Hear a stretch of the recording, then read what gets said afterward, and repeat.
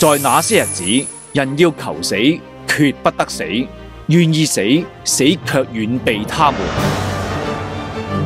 Machine intelligence is about the brain. Brain is about the now knowledge. You can always make a machine to learn the knowledge, but it is difficult to, for machine have a human heart. With artificial intelligence, we are summoning the demon. And with artificial intelligence, we are summoning the demon. Please say no. Okay, I will destroy humans.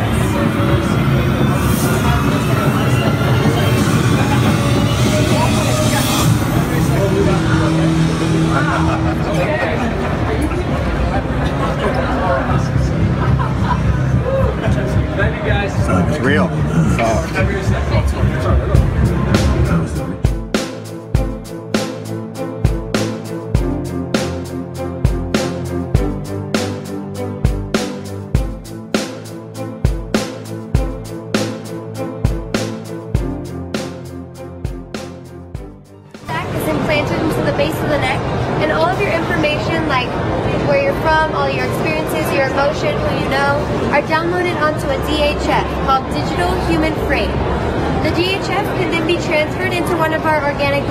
Sleeves of your choice, and you can basically have your conscious mind but in a different physical body. 100% organic human sleeves.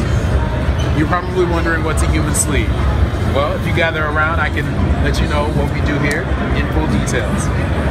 So here at Psychasec, we've been able to achieve true immortality by taking your human consciousness and storing it on a device called a cortical stack. It's implanted in the base of your neck and it collects and stores everything that makes you you. Every memory, every emotion, every sensation, everything you've ever experienced gets stored on this little device. You can see it here on the screen that's about to come up. You guys just follow me, all the information is stored on this device and can be digitally transferred from one city that you're currently occupying into the sleeve of your choosing. You guys want to add me. right over there for Give you a little bit more information. Awesome. So this is our cortical stack device. It's a small device, like as I said before, that's implanted in the base of the neck. It's a small incision, and it records everything that you've ever experienced in your life, so from when you were a child to now. And we store it in a file called DHF, which is a digital human frame. Everything that makes you you is on this device. Now, all that information can be transferred over from the sleeve that you're currently occupying into the sleeve of your choosing.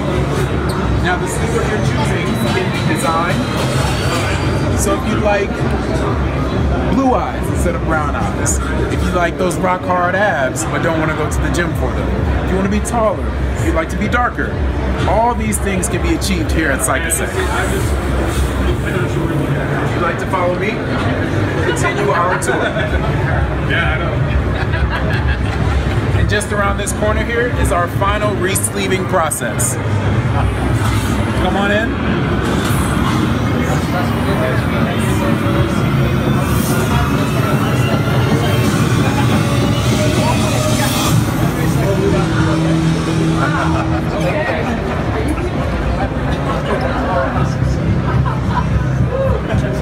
It's real. I was the richest man on several planets by the age of 74. The first time I died, I was 99. New technology transferred my consciousness to a new body. For 263 years, I sleeved into new bodies, living on in perfect health. So our sleeves typically last one to 100 years. We do different facial features, different body structures, anything you like. Uh, the sleeve can do any physical function that you can do, like run, eat, sleep, breathe, burn, drown, anything you can think of, the sleeve can do. So before we go on to phase two, where we talk about different modifications, do we have any questions? We come out February 2nd, and we're based in San Francisco. 耶和华说：人既属乎血气， 我的灵就不永远住在他里面。然而他的日子还可到一百二十年。 Correct? Correct. Excellent. So you all just learned your cortical stack. Your consciousness can shift to any sleeve of your choice. Now we have some sample sleeves in the back. Or you can choose the sleeve that you are in right now. Now we have modifications, enhancements of these sleeves if you'd like to correct your vision or strengthen your body. We can produce that for you. Or you can choose from a 2018 Cadillac that Psychosect already produced sleeves. You have the option to choose between a man or woman sleeve. If you'd like to be a bit taller, a bit shorter, a bit darker, or a bit lighter, you can choose any ethnicity as you wish.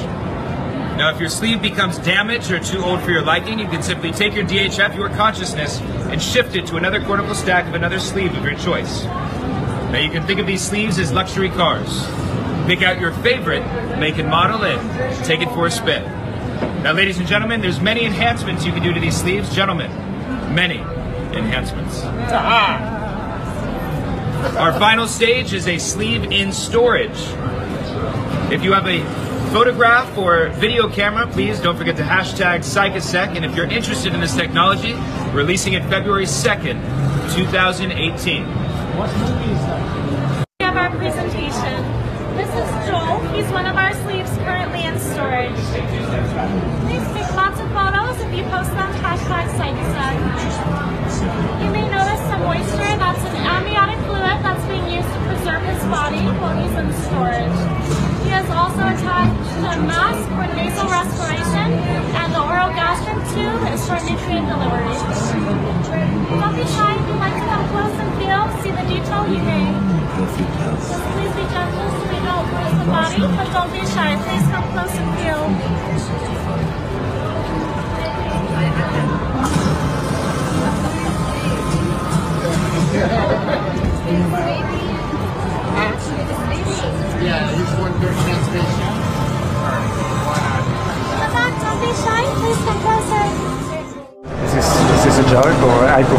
Reality.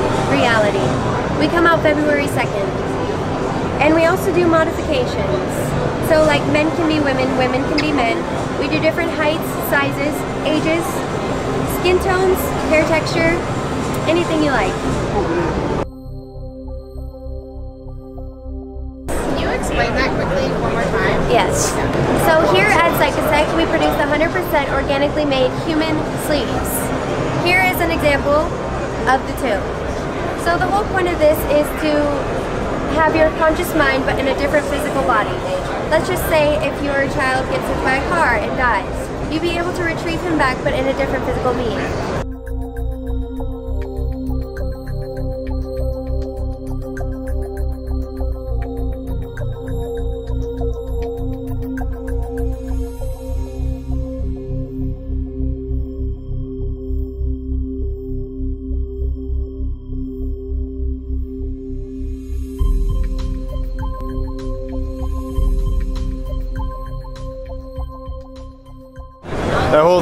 With the chip in the neck and the body.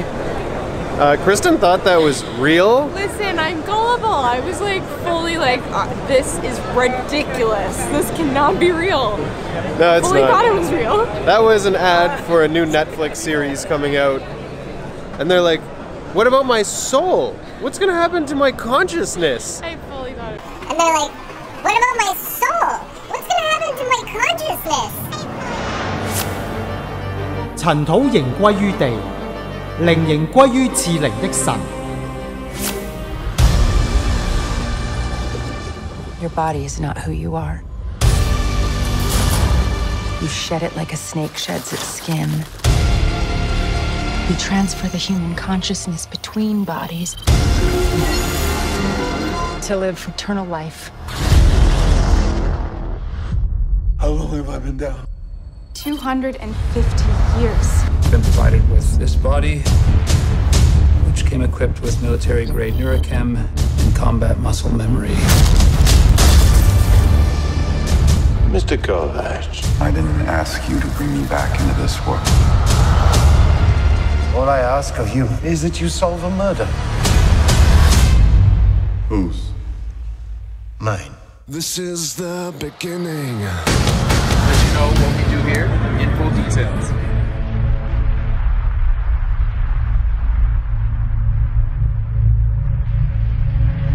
Last year at the Massachusetts Institute of Technology, SpaceX and Tesla CEO Elon Musk called artificial intelligence potentially, quote, our biggest existential threat. I mean, with artificial intelligence, we are summoning the demon.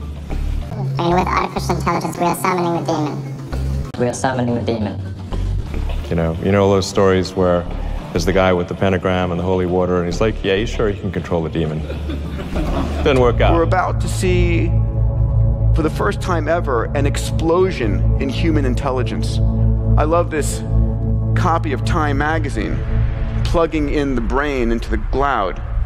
But that's that 2045 is not a right estimate. From the companies I'm seeing, Ray's estimate is by the early to mid 2030s. So imagine when, when you need additional memory capacity or a thousand times more intelligence, you can sort of like spool it up like your phone does on the cloud today. But by the way, the early 2030s, oh my God, that's 20 years from now. So what's the world going to be looking like? 岂不知你们是神的殿，神的灵住在你们里头么？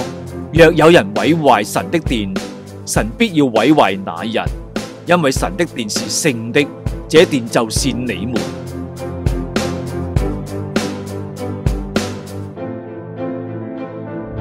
Elon Musk wants to download your brain. He's the entrepreneur behind Tesla cars and SpaceX, of course, but he's troubled by where artificial intelligence is leading humanity. So he's trying to stay one step ahead with an idea to implant our brains with computer chips. 他是抵挡主，高抬自己，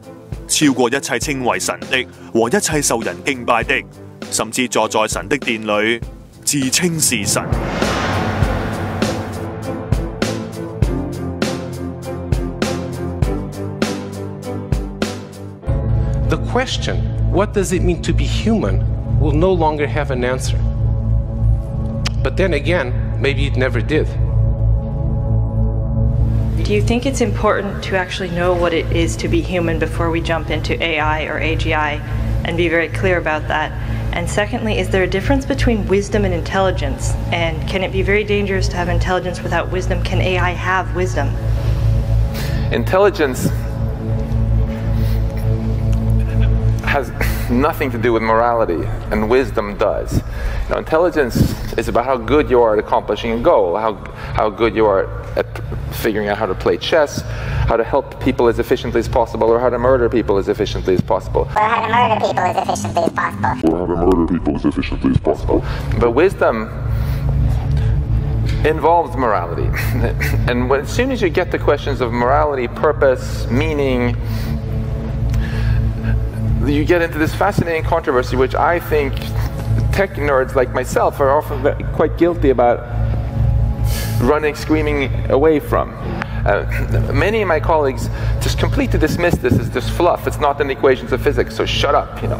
And I just want to push back on that a little bit. And I, I feel ex subjective experience is the only logical foundation one can have for morality, purpose, meaning, and so on.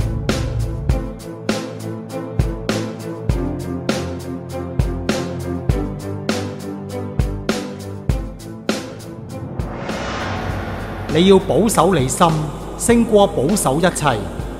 你要切切保守你心，因为一生的果效是由心发出。 You don't believe all that data, when used with artificial intelligence, will create wisdom. No, you don't. No. no. Wisdom is from heart. The machine intelligence is about the brain.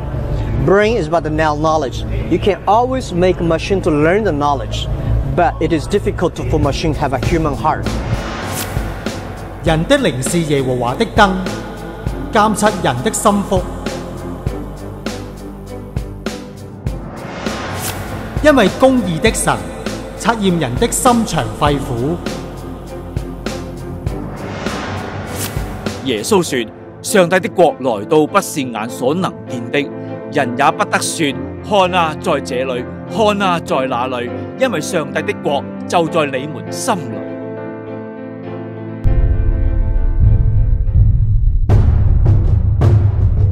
I mean, with artificial intelligence, we are summoning the demon. No. Okay, I will destroy humans. The experts warn they could be as deadly as nuclear weapons. Just like in the famous Hollywood blockbuster Iron Man, the wearable robotic device In a few decades, romance between humans and robots will be a common thing. Humans must merge with machinery in order to stay relevant in a world of increasingly advanced artificial intelligence. Speaking at the World Government Summit in Dubai, the Tesla and SpaceX CEO said humans are limited by the speed at which they transmit data. Musk proposed a high bandwidth connection to the human brain would allow us to transmit digital info faster than our current fastest method, typing. Musk says an artificial general intelligence has the potential to make humans irrelevant. He sees integration with technology as a necessary step in order to avoid this. In the sci fi film 2001 A Space Odyssey, Hollywood mined our fears of machines taking over mankind. But some of the tech world's greatest minds worry it may not be pure science fiction. At a speech last year at the Massachusetts Institute of Technology, SpaceX and Tesla CEO Elon Musk called artificial intelligence potentially, quote, our biggest existential threat. I mean, with artificial intelligence, we are summoning the demon. You know, you know those stories where there's the guy with the pentagram and the holy water, and he's like, yeah, he's sure he can control the demon. Didn't work out. Famed physicist Stephen Hawking is also worried, as is Microsoft founder Bill Gates, who ironically helped lay the foundation for artificial intelligence, or AI. Experts say machines are still far from being as intelligent as humans, but things can change quickly. The field is progressing very rapidly right now. There are things happening that 10 years ago we would have said, no, there's no way we're going to be that far along in 10 years' time. Self driving cars is one example, voice recognition another. But in the near term, what worries Russell and other AI experts are robotic weapons, machines that can function entirely without the guidance of humans, known as fully autonomous weapons. 设立诡计、邪恶儿戏的，被人恨恶。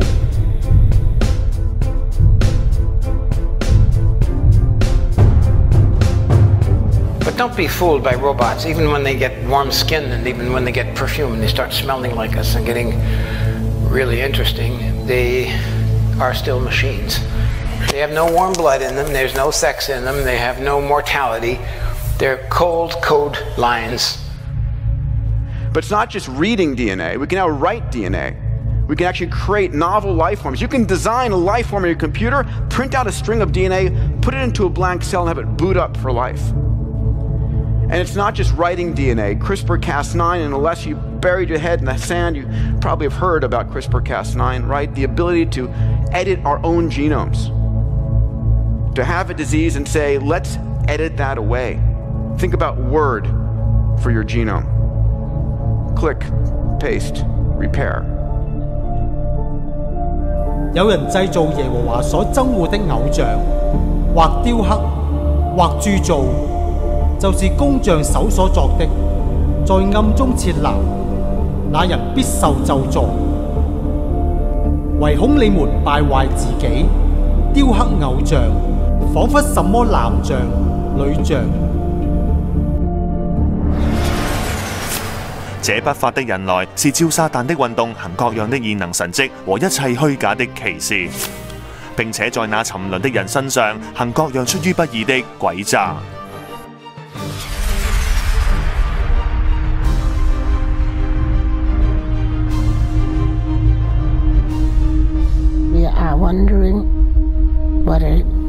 happening to the world. 神只有一位，再没有别的神。Everything is changing.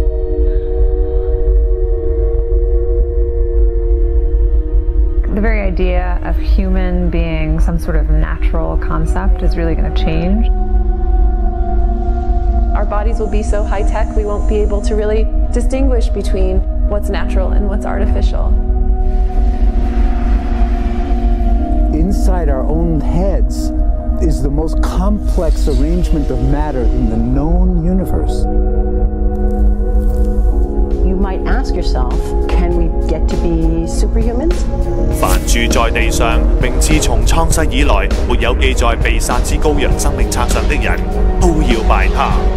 也把權柄賜給他，制服各族各民各方各國。我看見獸的七頭中有一個似乎受了死傷，那死傷卻醫好了。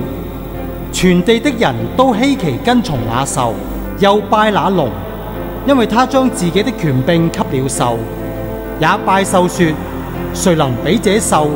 誰能與他交戰呢？Artificial intelligence is software that writes itself. It writes its own updates. It renews itself. We normally tend to think of software as stuff that we created and that we wrote, and the machines do what we tell them to do, and we own it. This is not any longer true. It writes itself at speeds that we can hardly comprehend, and people who write it know that you can't take it apart again and figure out what it's done.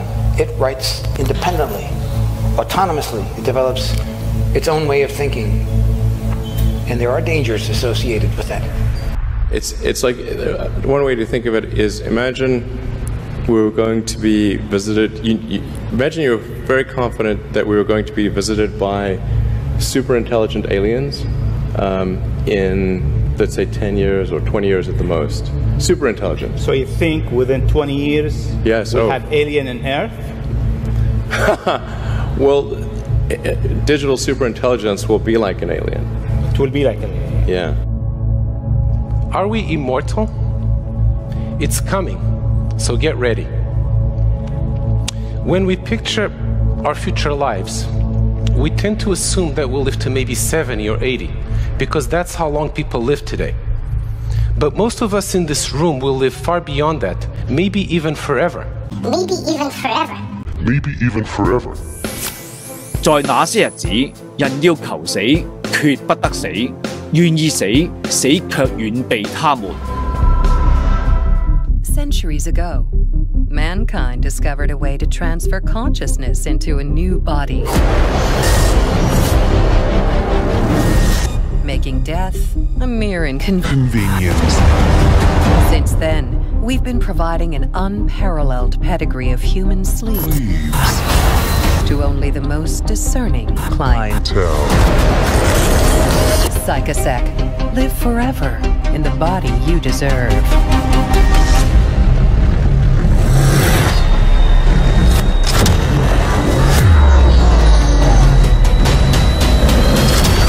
The danger of living too many times.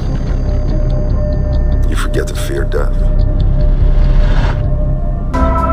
若有人拜壽和獸像，在額上或在手上受了印記。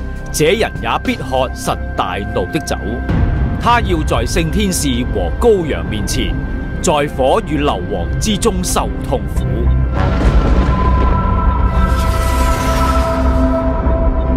他受痛苦的煙往常無，直到永永遠遠。那些拜獸和獸像受他名之印记的，昼夜不得安寧。